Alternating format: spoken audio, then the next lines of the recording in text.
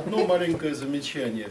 Вот на одном из первых слайдов вы показали, что э, виды и гибриды имеют, ну там самые первые, самые-самые-самые где-то первые, что у них э, практически не отличается миоз, и у них синапс полный у гибридов. Вы, вы потом это сами своей работой опровергли. У гибридов асинапс хромосом и э, в миозе, и э, в э, тех э, метатических системах соматических тканей, везде это совершенно определенное характерное явление.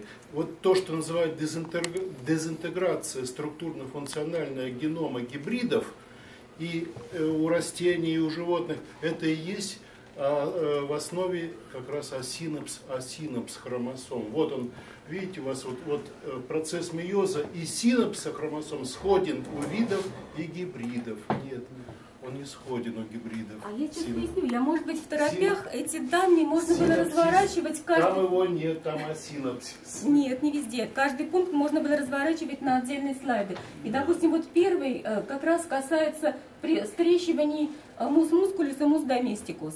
Вот там только увеличение спонтанных нарушений у гибридов при гибридизации, хотя они считаются видами.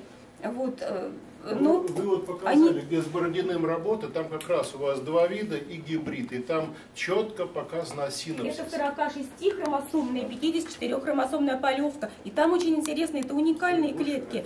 Там почти все клетки блокируются в похитении и проходят стадию пахитена буквально единичные Нет, клеточки. И вот он поймал, поймал сложные. этот синапсис ну, вот на электронке в единичных клетках. И для растений, и для животных. Общее явление асинапсиса хромосом у гибридов межвидовых. Да.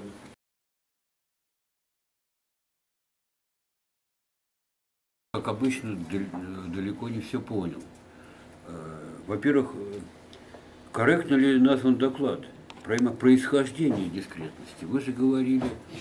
Становление дискретности, э, да. Нет, о становлении вы ничего не говорили. Вы говорили о поддержании дискретности. То есть выпадение гибридных форм, их нежизнеспособность и так далее.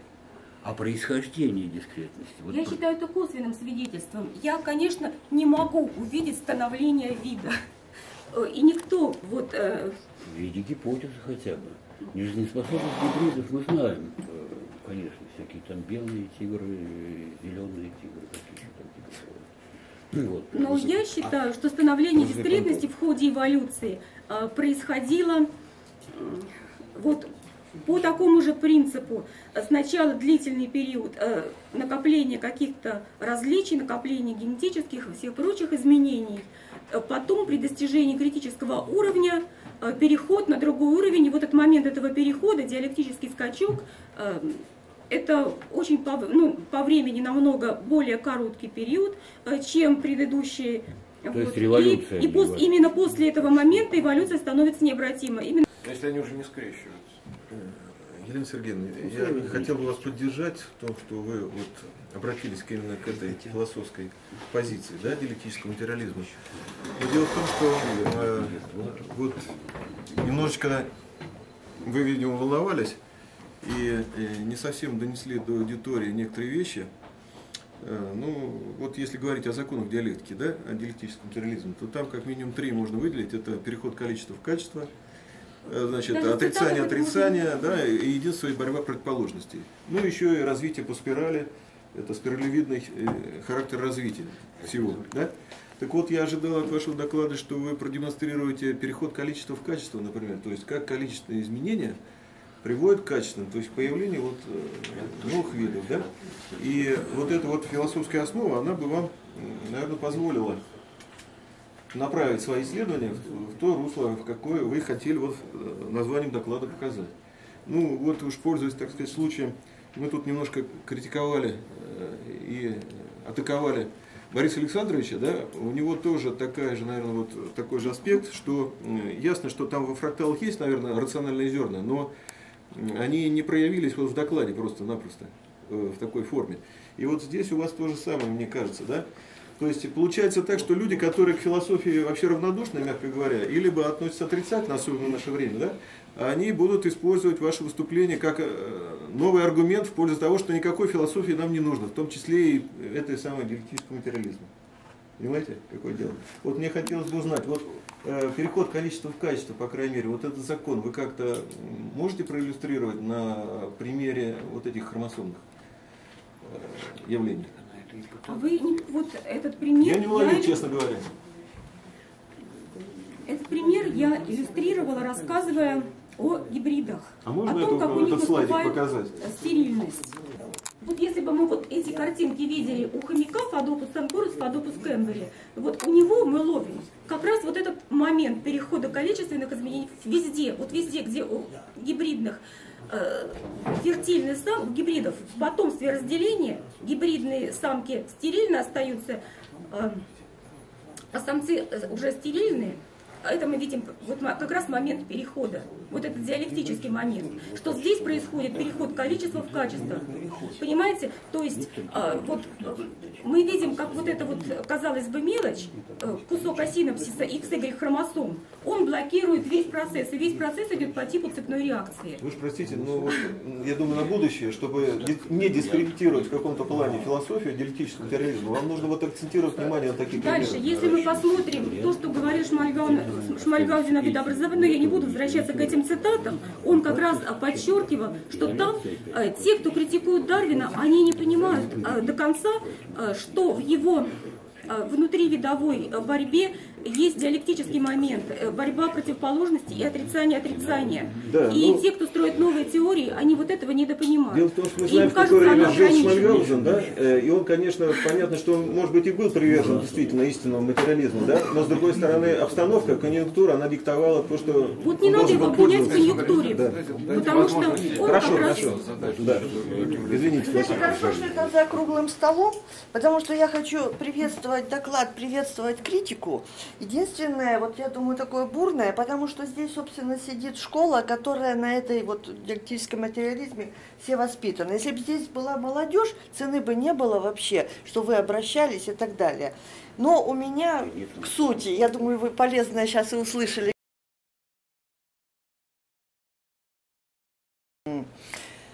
Часто примеры подбираются из разных царств.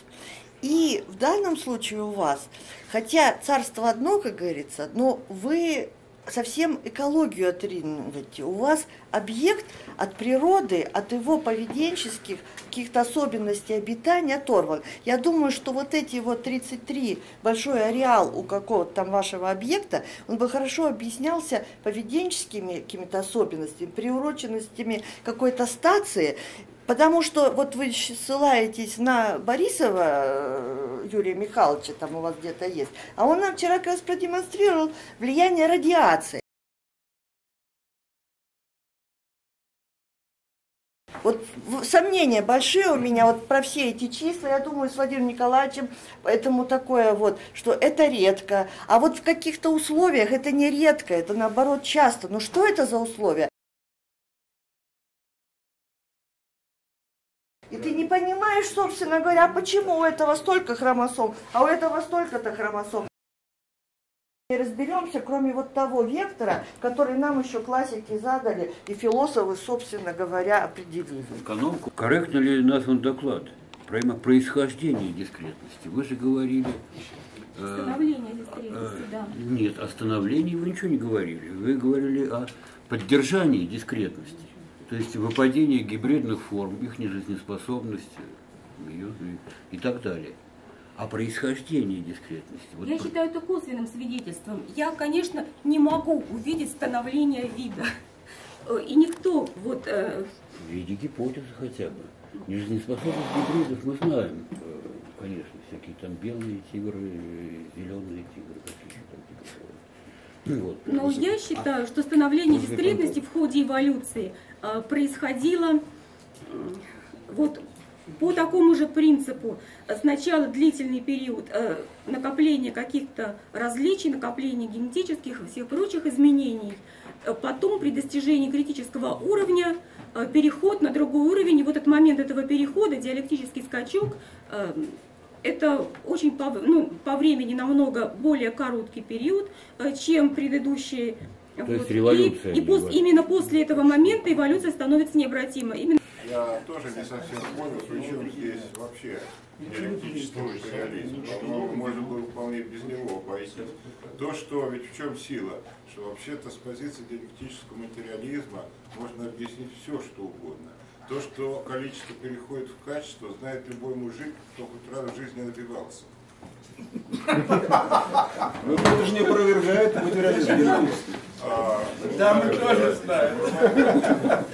А, дело в том, что, понимаете, вот в этом-то вот нас учили в свое время, и очень трудно было иначе, э, скажем, там защищаться, чтобы все это не уложить, не вогнать вот в эти все три основные. Но это можно было сделать довольно легко. При определенном навыке, да что хотите, можно объяснить.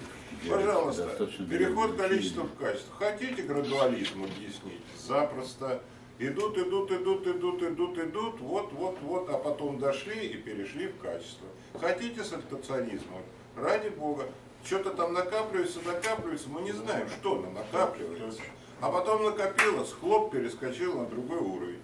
Ну, в общем, не знаю. Знаете, мне кажется, что вот гораздо лучше было бы, если бы вот такой доклад сделали, не упоминая все это самое философию, когда это просто ни при чем. А э, так вот вам, раз вы вот так интересуетесь там классиками, цитатами, хочу сказать, не знаю, может вы в курсе, что где-то в 1977 году два Ричарда, Левонтин и Левинс, опубликовали такую книжку, которая называется Dialectic Biologist и посвящена она Фридриху Энгельсу, не более, не менее, который, как они пишут, во многом был неправ, но был прав тогда, когда того стоило.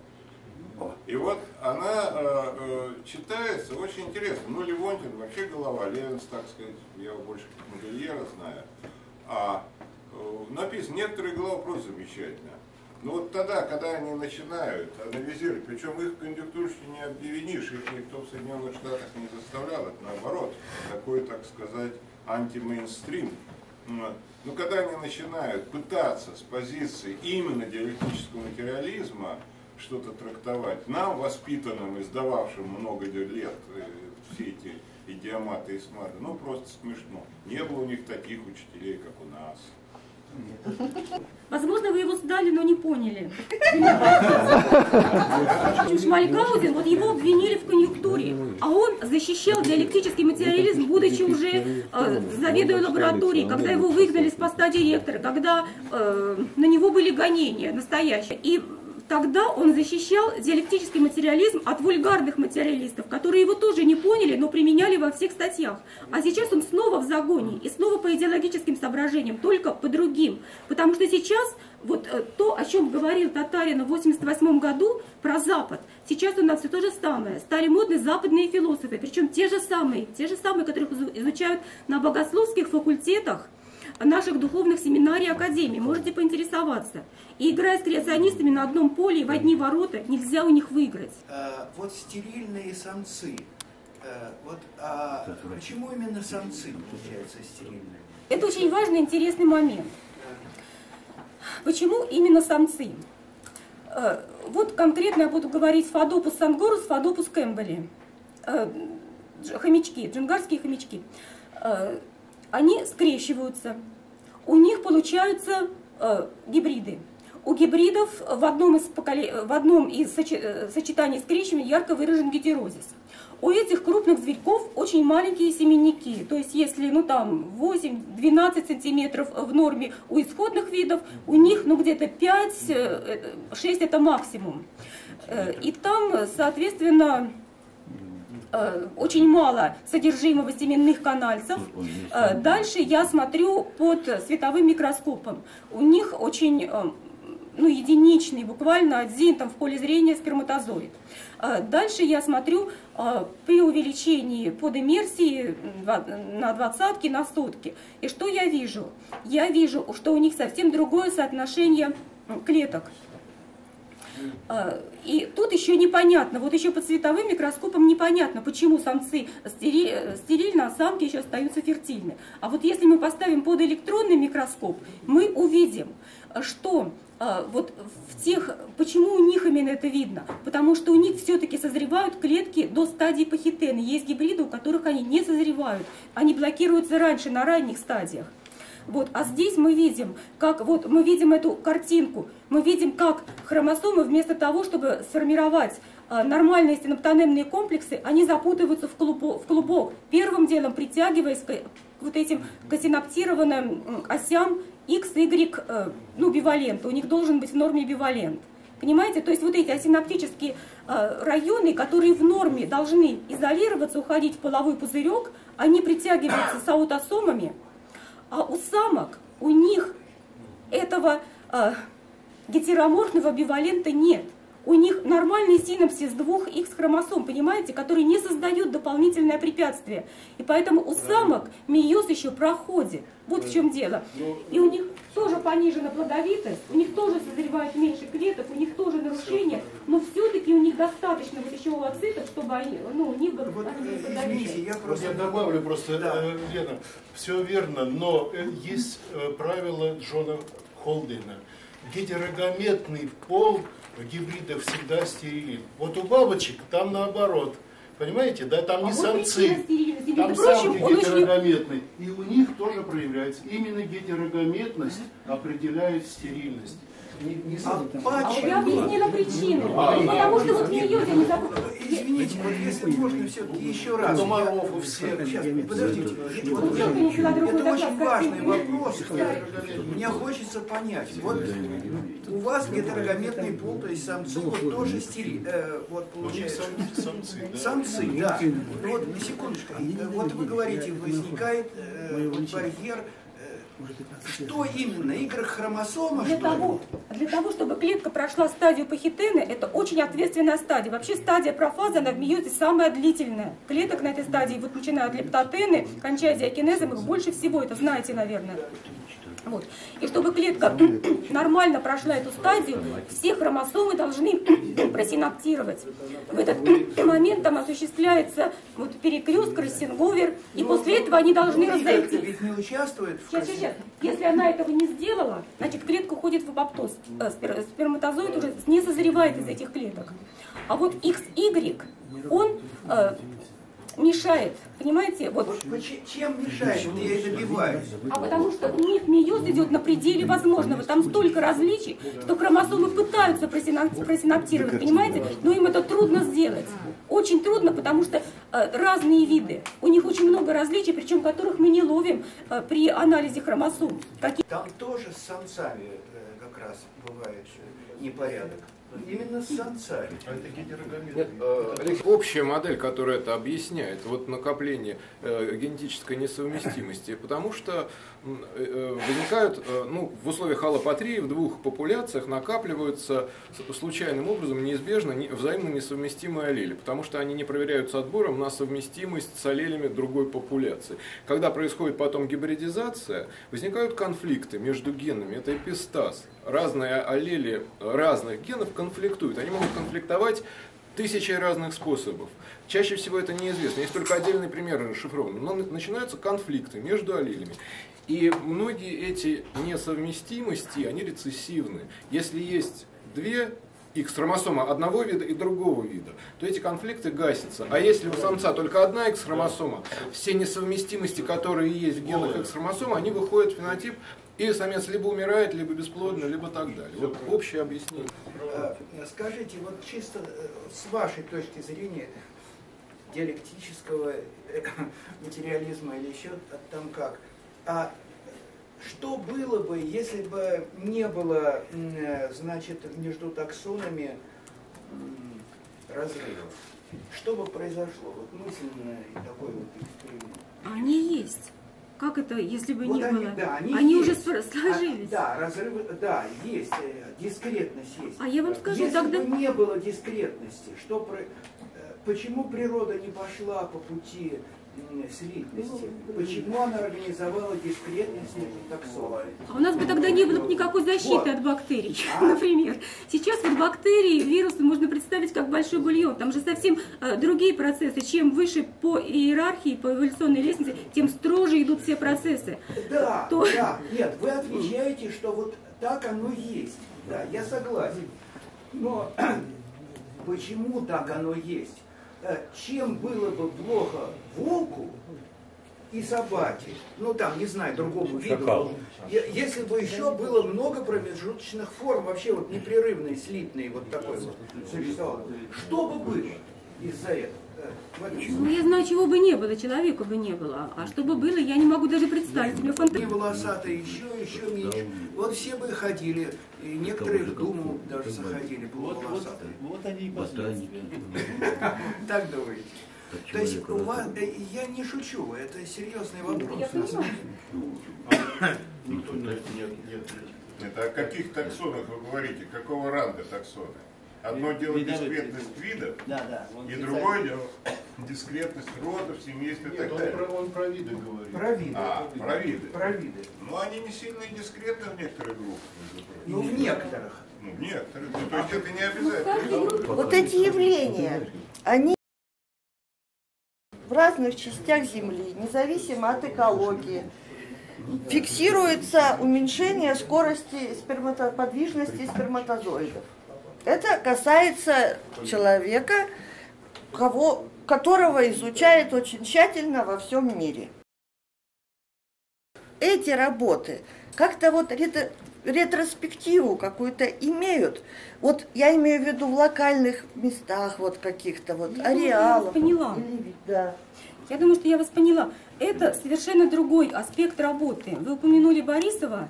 А, и упомянули о том, что ну, считается, что сперматогенез, да, активность снижается на 20%, по-моему, цифры, вообще созревание у человека сперматозоидов. И это связывается с загрязнением окружающей среды. Правильно я поняла? Нет, еще непонятно, с чем вот. это Ну, связ, связывают, что вроде э, с тем, что... Э, ну вот как раз об этом рассказывал э, Яблоков. Он говорил о том, что сейчас очень много агентов, которых раньше не было для нас во внешней среде, э, полютанты, стойкие органические загрязнители, радиоактивные вещества. Вот, э, как они влияют, но этого никто не знает. Это знают, проводят опыты в каких-то лабораторных условиях. Вот берут э, там конкретно мышей и берут конкретно какой-то препарат, вводят, смотрят, что получилось. Как влияет, как работает в природе, этого, ну, никто не знает, как это, ну, ищут какие-то подходы, смотрят динамику популяции, что-то еще, но никто не знает. Быть связан с выбросами гептила, а может быть и нет, этого тоже никто не знает, это вот такое просто предположение. И может быть, ну, их адаптивная роль, ну, тоже предполагает, может быть, это так и есть. Вот интересно посмотреть, допустим, район ЦБК на Байкале. Вот, вот если выделят деньги, может быть, туда поедем, будем смотреть.